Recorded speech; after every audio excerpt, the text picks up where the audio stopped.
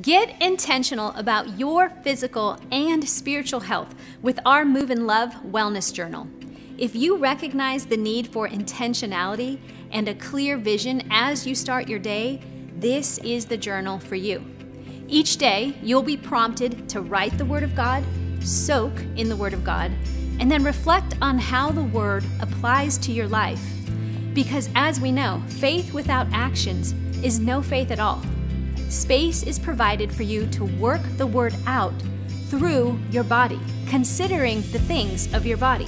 A daily gratitude practice and writing down the top three things for you to do each day are part of your daily prompts to help you live out the life that God is calling you to. Then you will consider the things you will need each day for your body, for your mind, for your emotions and soul in order to live out the word for that day. All this will help you develop a healthy body brain connection for the completion of your tasks, the things that God is calling you to do.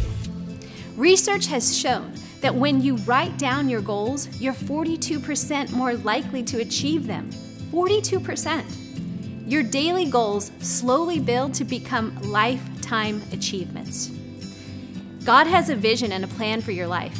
It is a good and hopeful plan for the future. And if you're ready to put God's word into action with your whole self, this journal is for you. Find our Move in Love journal on Amazon or in the Revelation Wellness shop.